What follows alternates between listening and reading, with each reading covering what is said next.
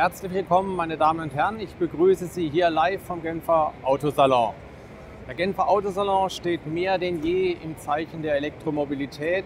Kaum ein Hersteller, der hier Flagge zeigt, der nicht Hybride oder Brennstoffzelle oder anderweitige alternative Antriebsstrategien anbietet. Aber natürlich denken die Hersteller nicht nur an die Zukunft, sondern auch an die Gegenwart. Das heißt, es gibt jede Menge interessanter Modelle, vom Kleinstwagen über Sportwagen, vom SUV hin bis zu klassischen Limousinen, die hier auf ihre Käufer warten. Wir zeigen Ihnen die Highlights dieser Messe und ich wünsche Ihnen bei unserem ganz persönlichen Rundgang viel Spaß.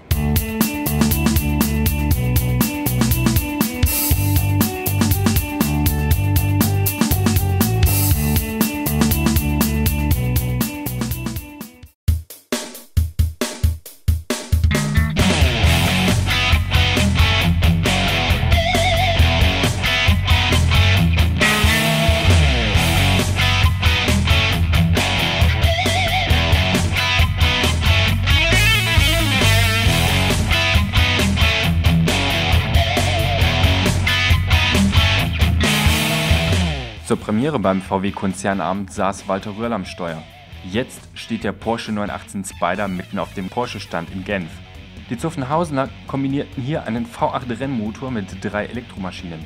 Keine siebeneinhalb Minuten soll der 918 für die Nürburgring-Nordschleife benötigen. Im Schnitt kommt er mit unter drei Litern Sprit aus. Eine Zukunftsvision? Ja. Denn wann das Auto in Serie geht, ist noch offen. Eine Zukunftsvision ist auch der Mercedes F800 Style.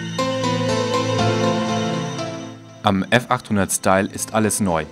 Die Studie von Mercedes zeigt ein Design, das wir ab 2013 an der neuen C-Klasse sehen werden. Statt Kanten gibt es fließende Linien, das Vier-Augen-Gesicht weicht einem katzenhaften Blick.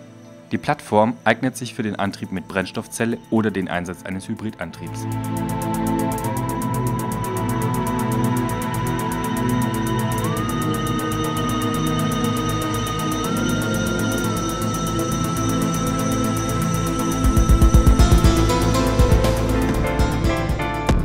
Giulietta heißt der neue Hoffnungsträger bei Alfa Romeo. Mit dem Kompakten wollen die Mailänder an die Erfolge der Giulietta aus den 50er Jahren anknüpfen. Völlig neu ist die Plattform. Multi-Air-Motoren sollen für Effizienz sorgen und mit bis zu 235 PS das Cuore Sportivo des Fahrers höher schlagen lassen. Sicherheitshalber übernimmt das Design Elemente des Supersportwagens 8C.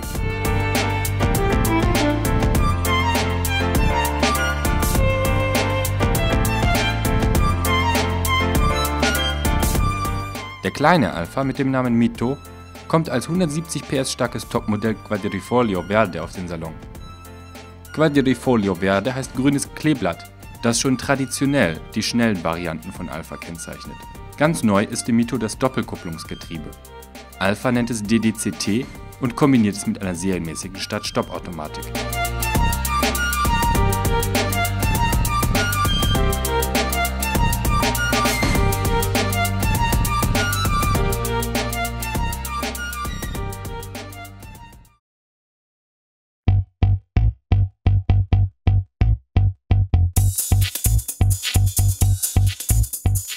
Renault bringt Wind in die Modellpalette.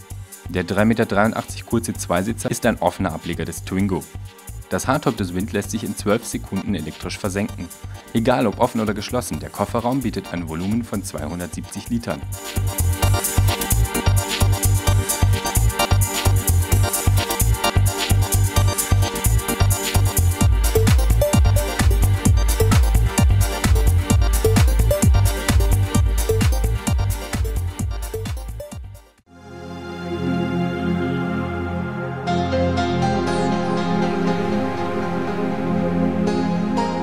Auch offen, auch eine Weltpremiere, Renault zeigt die zweite Generation des Megane CC.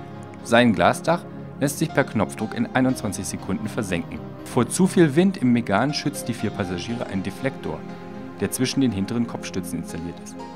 Im Juni 2010 kommt der Megane CC nach Deutschland.